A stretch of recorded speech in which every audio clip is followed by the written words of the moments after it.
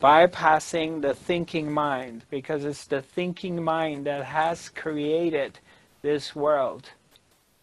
And you are a separated individual entity in it, and you're really frightened because you're so helpless. Naturally, the world is too big and too hostile. And you're frightened from it because you're helpless in it as much as you think you can do something, there's nothing you can do about it. It's too big, too powerful, too frightening. So you're always live in fear and anxiety. And you're always in this place of supporting and protecting yourself against this monster, this giant.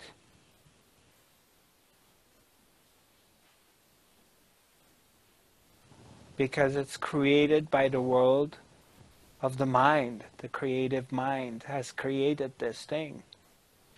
But as you begin to recognize and realize that there is no separation, that means you need to become quiet. You go beyond the mind. It's a journey from the head to the heart, and you're becoming quiet you're becoming centered. In that, you kind of become passive and you become non reactive. You're not reacting to the world. You're not reacting to your partner. You're not reacting to your children. You're not reacting to that policeman that pulled you over and wants to give you a ticket. You're just kind of sinking in here. You're quiet. You're centered. I'm not talking about the type of passive. I'm not talking about being passive in a way that if somebody is trying to force themselves on you, rape you, or, or violate you, and you're not sitting there, you're sitting there and you let them do it. I'm not talking about that. Girls, you did it when you were 13, 14, 15, when you didn't know anything better. And that has happened to you unfortunately. I'm not talking about that passive, passivity. Don't take me wrong. Those are moments that you need to react and kick, kick the butt of that person, punch them in their face. I'm talking about in general, you become quiet, you go inwards, you're bringing your attention to which is that which is here. And you're going beyond the, the world of the mind into the silence.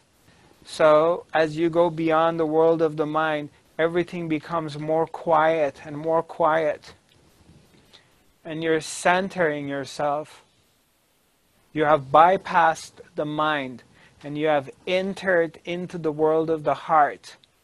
And as you have gone through this transformation and come to the heart, the presence, the big kahuna, Her Majesty, the Supreme Being, begins to reveal itself to you. It shows itself to you. God begin to show her presence to you and take over your life.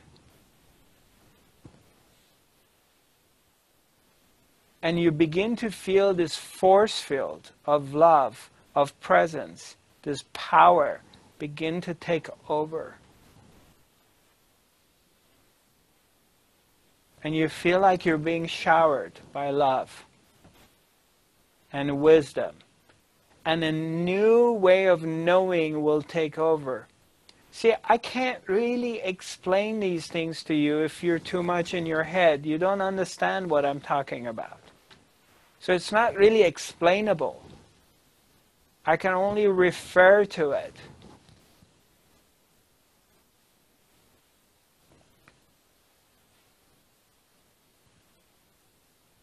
Your analytical mind doesn't understand it. But you have to give it a try because you don't really have a choice. The world you're in is going downhill. So you need to pop out of it press the eject button if you can. So you don't go down the hill with that one. So the more you go beyond your mind, the more you sink into your heart, the more you come into the presence here. The more you begin to feel, because it reveals itself to you. And you're surrendering to what is. You're not trying to manipulate things. You're not trying to make things happen to go your way. Because you don't care. You're starting to realize that you're 100% taken care of. All is very well.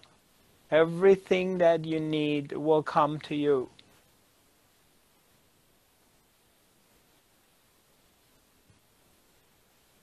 That you need, don't need to figure everything out. You don't need to be on top of everything all the time. You relax into your natural state of being, hanging out here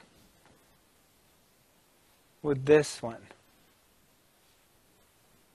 The presence begin to reveal itself stronger and stronger. And you dive into and you're becoming one with it. And then you realize that this one is operating through you. This is the one who does the healing.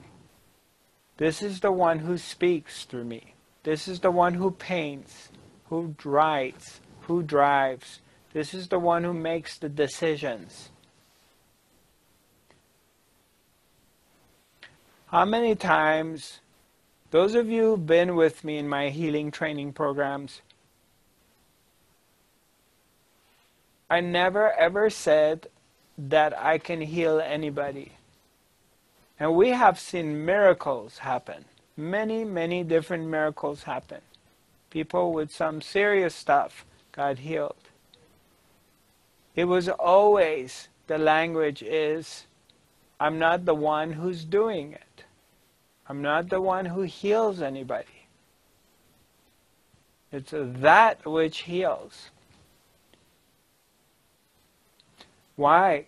Because in this recognition, in this place of letting go of an individual illusory entity, is the one, the self, Her Majesty, begin to operate. And that's the one who does the healing.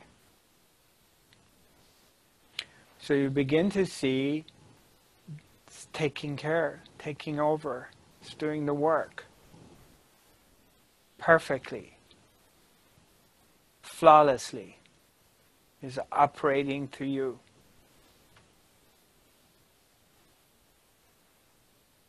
And this idea of you being separated starts to disappear.